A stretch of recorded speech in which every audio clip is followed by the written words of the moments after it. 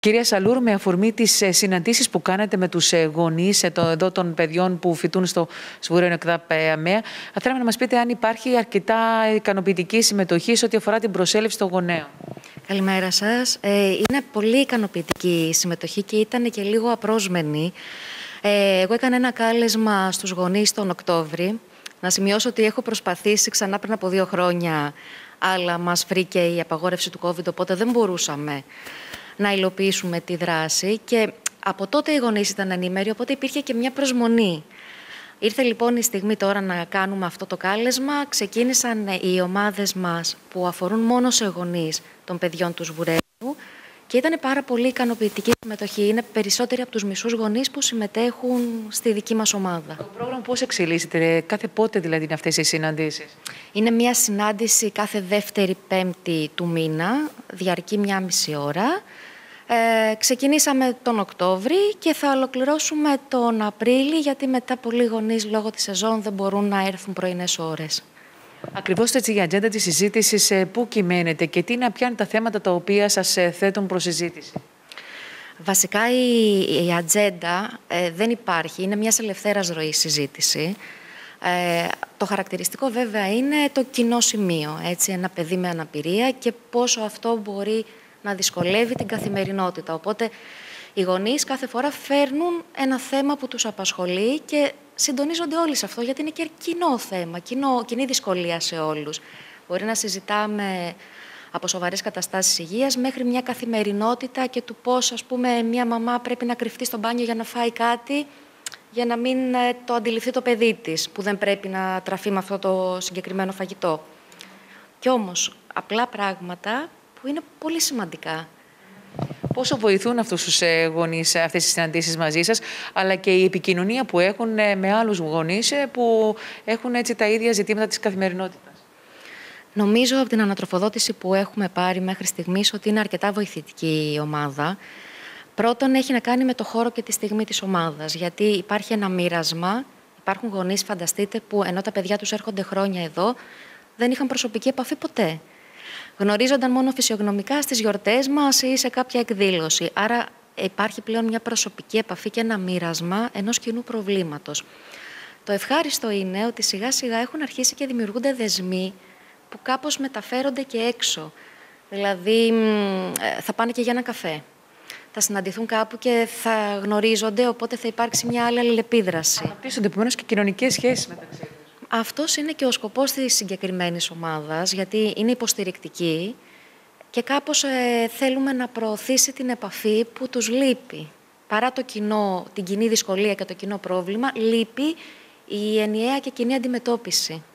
Από αυτά τα λεγόμενά του, από αυτά τα οποία σας ε, λένε, πιστεύετε ότι ε, βοηθούνται οι γονείς οι οποίοι έχουν παιδιά με αμαία από τον κρατικό μηχανισμό; Υπάρχουν πολύ μεγάλες ελλείψεις ε, μεγάλο κομμάτι τώρα αυτό, κυρία Πολίτου, θα μπορούσαμε να το συζητάμε ώρες.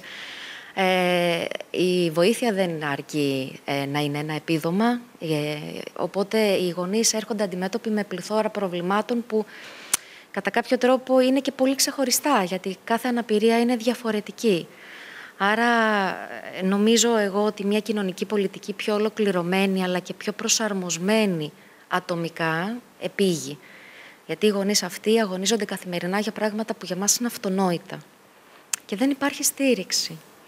Αυτό το κομμάτι τουλάχιστον το ψυχολογικό, το συναισθηματικό, προσπαθούμε να το φροντίσουμε λίγο εδώ, αλλά και πάλι υπάρχει πολλής δρόμος μπροστά. Σε ό,τι αφορά το κομμάτι έτσι, της ένταξης μέσα στην κοινωνία και το πώς κυκλοφορούν ε, τα παιδιά με τους γονείς φυσικά που έχουν ε, αναπηρία, θεωρούν ότι υπάρχει προσβασιμότητα εδώ στο νησί μας, ε, τα αγκαλιάζει η κοινωνία; Εκεί έχει να κάνει και με την ιδιοσυγκρασία του κάθε γονέα. Κάποιοι γονείς είναι πολύ πιο ανοιχτοί στο να κυκλοφορήσουν έξω με το παιδί τους, κάποιοι άλλοι ε, είναι πολύ πιο απομονωμένοι. Ε, μπορεί να ευθύνονται παλαιότερες εμπειρίες ή αισθήσεις ότι κάπως ε, υπάρχει μια διάκριση, υπάρχει ένα επίμονο κοίταγμα που δημιουργεί δυσκολία.